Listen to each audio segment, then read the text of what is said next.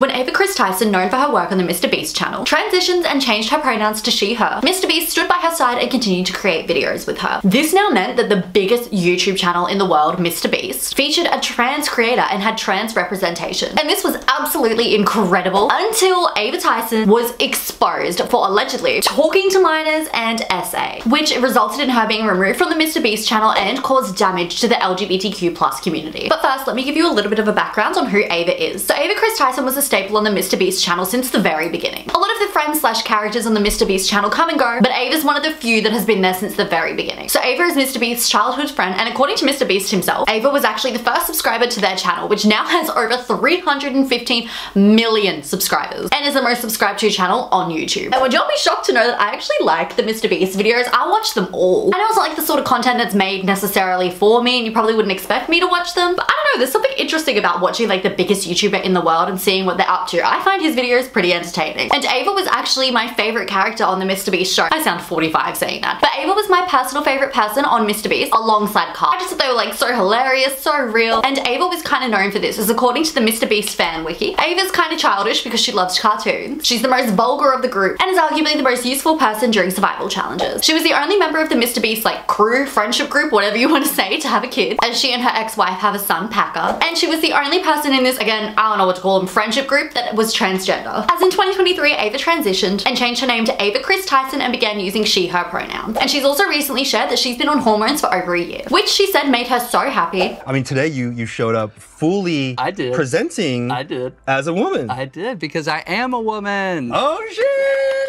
Ah, she, her. You've never said that before, right? I've never said that publicly, no. But I've I've been fully like confident in that decision for over a year now. And she actually said that she's felt like a woman for years and that she would constantly daydream about being a woman and sometimes she would actually spend all day in bed so that she could continue daydreaming about being a woman. And when Ava transitioned, Mr. Beast stayed by her side and continued filming videos with her and when asked by transphobes on the internet, transphobes? Transphobic people? Whatever the word is. He always defended her. One of these is just so awful but someone basically asked Mr. Beast what it was like having Ava as a nightmare, which is incredibly transphobic. And Mr. Beast actually replied, Ava isn't a nightmare, she's my fucking friend. And Ava has said that she feels so much happier and loves being able to look in the mirror and see a woman. Saying I've always known she was inside of me and she's finally making her way into the world. And this was incredible as the biggest YouTube channel in the world had trans representation. Absolutely fantastic. Now in my research for this video, I of course came across a lot of transphobic hate towards Ava. So I just want to take a moment to explain like what transitioning and being transgender is so that people can kind of understand a little bit more why people do it maybe have a little bit more empathy and not be transphobic. I will not be tolerating any transphobia in my comments. We are only referring to Ava as Ava. Will not tolerate using her old pronouns that she does not go by anymore. You are on an LGBT channel. Surprise, I'm gay if you didn't know. So I will not tolerate any transphobia in the slightest. So a short explanation of what being transgender is, according to transequity.org, is people whose gender identity is different from the gender they thought to be at birth. It also says that people can realize they're transgender at any age. Some people trace back to their earliest memories and that they just kind of knew, while others may need more time to realize that they are transgender. Some people spend years feeling like they don't fit in and not really understanding why, or try to avoid thinking about and talking about their gender due to shame, fear, or confusion. But trying to repress these feelings does not help and can actually be really damaging to someone's mental and emotional health. Which is why telling someone that they are wrong or being transphobic to someone can be incredibly damaging and really, really awful. So for many transgender people, recognizing who they are and deciding to start their gender transition can take a lot of reflection.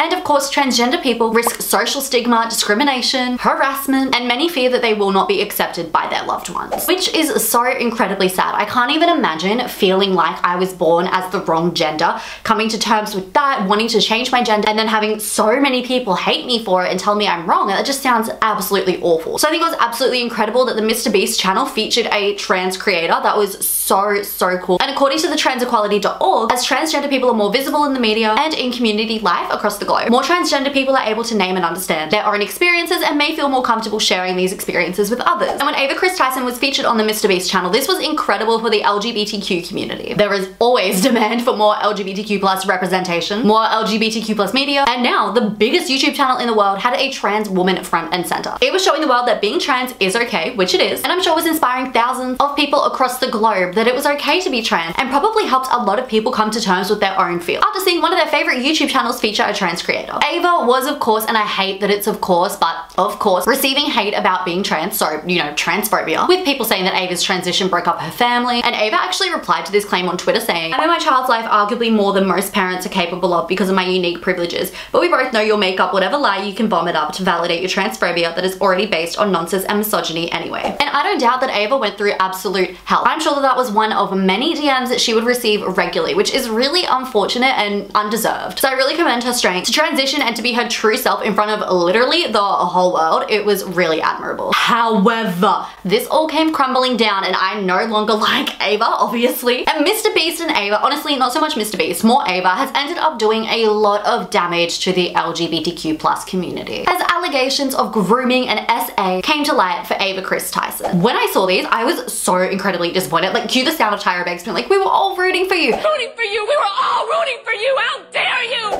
That was me. I was like so amazed and happy that there was a trans creator on the Mr. Beast channel. And if I had to end up being this like horrible human, I was like, why? I was rooting for you. You were not meant to be a bad person. Because I wanted nothing but success for the Mr. Beast channel and Ava after they'd done so much for the trans community. But after these allegations, I obviously no longer believe that. This all began when messages between Ava and a minor were leaked on X, which formerly Twitter. I'm just gonna say Twitter, okay, throughout this video. I'm gonna say Twitter. Y'all know I mean X. So these messages were between Ava, who was 20, and Lava, who was 13 at the time. Lava was actually a moderator of Ava's Discord channel and would constantly be talking to and interacting with Ava, which is just incredibly weird. Why does a 20 year old want to interact with a 13 year old? It's so incredibly odd. I'm 25, granted a little bit older than 20, but talking to like a 13 year old is my nightmare. In my eyes, those are still children. Like I want nothing to do with them, wish them well. And it's also just incredibly inappropriate for a grown person to be talking to kids. It's just weird. It's all round a weird yuck situation. And it gets worse because not only was Ava talking to a child, which I already find weird, but they were making inappropriate jokes to them. She was talking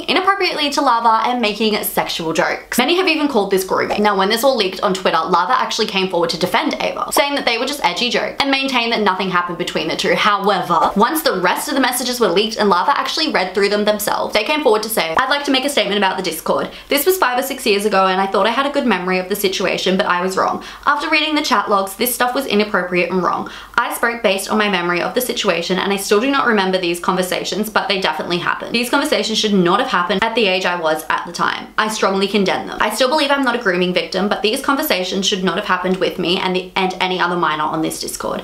I was a minor in this situation and not the adult influencer who shouldn't have allowed this to happen. I did not see that this was wrong at the time. And I completely agree with what Lava is saying. Oftentimes, things happen to kids or teenagers that they don't realize was wrong until they grow up and are an adult themselves. This is why we're always saying we need to protect kids, we need to look out for kids because they don't know any better. They don't know that something bad is happening to them. It's only when they grow up and they're an adult, they look back and are like, huh, that was weird. That wasn't okay. And Lava is actually now around the age that Ava was when Ava was talking to Lava. And Lava has said like, that was a bit weird. I wouldn't be talking to a 13 year old now, let alone what Ava was saying. It's just all around odd. Especially making like sexual jokes. It's just, why are you talking to a 13 year old? Why is this an ongoing issue with YouTubers? Why are they always talking to kids? It's so weird. I don't know why this just continues to happen where like scandal after scandal, someone's caught talking to a literal child, but like, don't. It's so odd. You have no reason to.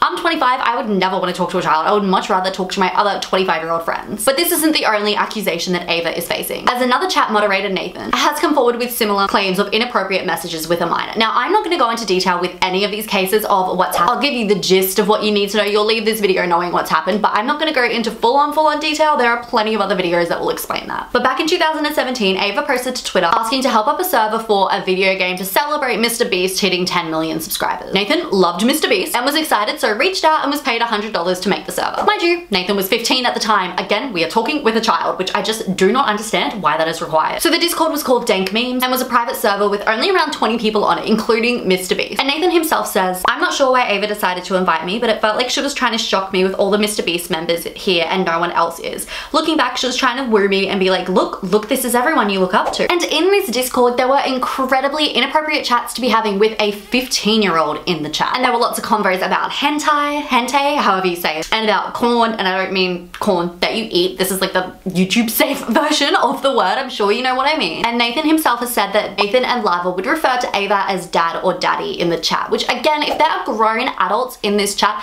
they should be calling out that this behavior is not okay, telling these kids to stop and even removing them from the chat. Like, you should just know that it is not an appropriate place for kids to be. But it gets weirder because Nathan said that they would have hours long calls with Ava where they would play video games together. And in these calls, Ava would apparently complain about her marriage, complain about working on Mr. Beast videos, and was constantly seen smoking weed. Which is just weird. Why is she spending her time talking to minors, complaining to minors about her life? Like, go get some friends your own age. And Nathan actually agrees with my opinion on this, telling Rolling Stone that he was so starstruck at the time that he bragged to all of his friends about it. But looking back now, Nathan is the same age as Ava was back then, and Nathan can't imagine spending hours talking to a 15 year old, let alone multiple, about their problems. Nathan's right, the whole situation was weird, and it's kind of clear that Ava was using their imbalance in power and the fact that these kids all looked up to the Mr. Beast channel against them. And this still isn't all, as not long after, Jess, who was formerly Ava's assistant, came forward to talk about how she felt she was SA'd by Ava. Jess said that in 2022, Ava reached out to her on Twitter to talk about Ava's transition and to ask her questions. As at the time, Jess had been sharing a lot of posts that were like pre-transition, post-transition, all things like that. And Jess said, I was a trans girl who had just come out of the closet publicly.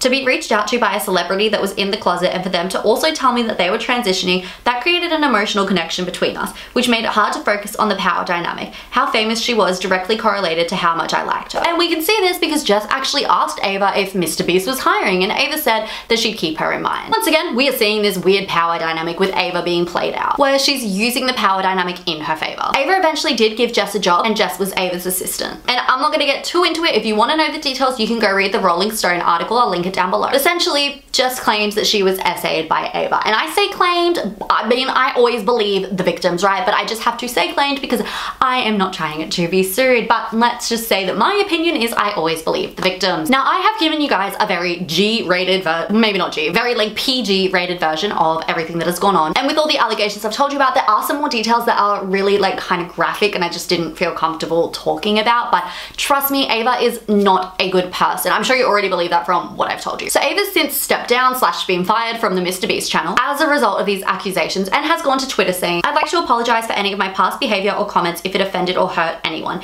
It was not my intent and seeing recent events, we've mutually decided it's best I permanently step away from all things Mr. Beast and social media to focus on my family and mental health. And there was a more lengthy statement on Twitter saying, I humbly apologize to anyone I have hurt with my unacceptable social media posts, past actions, and to those who feel betrayed by how I acted online. To lump those two factors together to create a narrative that my behavior extended beyond bad, edgy jokes is disgusting and did not happen. In past years, I've learned that my old humor is not acceptable. I cannot change who I was, but I can continue to work on myself. I don't want these accusations to impact hundreds of people who work at Mr. Beast, which is why I have stepped away. I want to add, I never groomed anyone. The person who gets brought up in these accusations, Lava, has vocally supported that they are false. I don't know. I personally, as you guys know, think it is weird to talk to kids. I just think that is all around odd, and I think that is a little bit more, well, a little, a lot more serious than just like wrong, edgy jokes, as Ava has said. I don't know. I think they're trying to downplay the situation a lot. It's not good. It's not a good situation. You're not a good person, and it's extremely disappointing because even like to throw Lava in and be like, no, Lava said it was fine.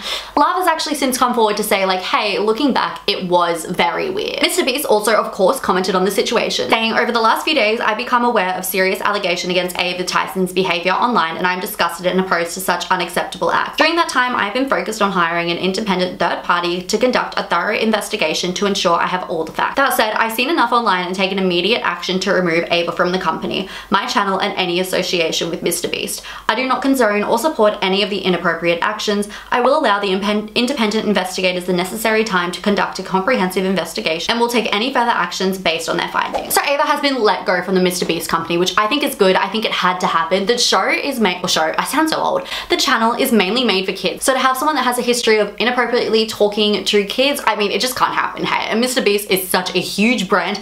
It probably wasn't even Mr. Beast himself's decision. I'm sure it was like a lawyer or someone in PR, their choice to like get her out of here. So how is this damaging the LGBT community? It's not because we no longer have a trans woman on the biggest YouTube channel in the world, although that of course does suck. It was fabulous having trans representation. But I think the Mr. Beast team 100% made the right choice. Ava's actions were disgusting, despicable, just so, so wrong. And her apology makes me think that she doesn't actually really see how wrong these actions are, which is even worse. But the reason that this is damaging to the LGBTQ plus community is because that Ava's actions have led to a lot of hate and a lot of transphobia towards the community. When researching for this video, I watched a bunch of YouTube videos about the topic and the amount of people that refused to use Ava's name and were instead referring to her by her dead name and the amount of people that refused to use her correct pronoun and would only refer to her by her dead name, I actually could not find a single video from someone that was using her appropriate pronouns. Everyone insisted on using her dead name and her old pronouns, which is disgusting. But what's even worse is that one person used the argument of her actions, or they didn't say her, but I'm not gonna use the wrong pronouns. Her actions were so bad that they don't deserve to be called their correct pronoun, which is just like an insane statement. And this is what I mean that it is damaging the trans community. Something I'm constantly saying in my personal life is like two things can be true at the same time. And I think that applies